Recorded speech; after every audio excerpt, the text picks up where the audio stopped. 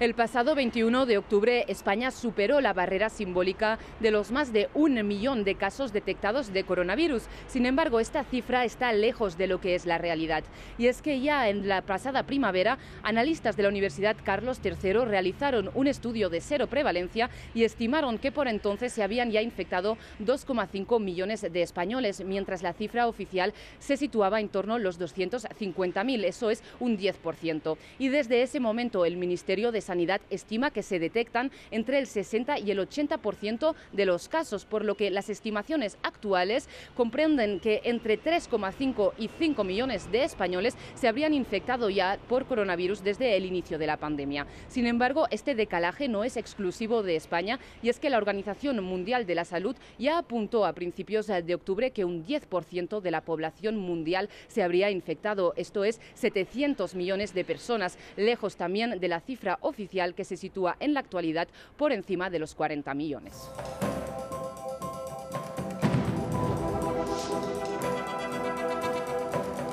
Francia sobrepasó el millón de casos acumulados de COVID-19. Es el segundo país de Europa en sobrepasar este récord después de España. La situación sanitaria sigue desmejorando y de hecho eh, la atención en los centros hospitalarios es cada vez mayor.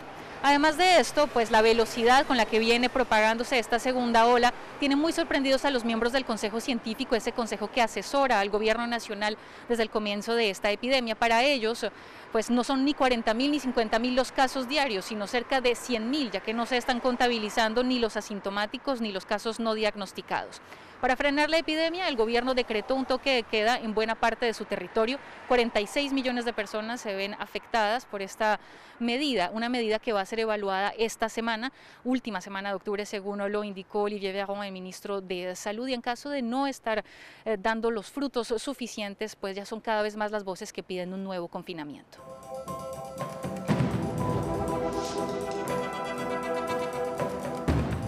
Doble récord este fin de semana para Colombia. Por un lado, se llegó al millón de contagios por COVID-19 y por otra parte, se superaron las 30.000 muertes por el virus.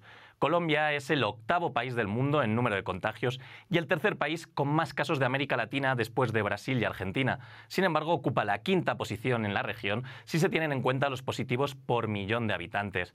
Colombia vivió un confinamiento precoz desde el 24 de marzo, cuando el país tenía solo tres muertes y poco más de 300 casos.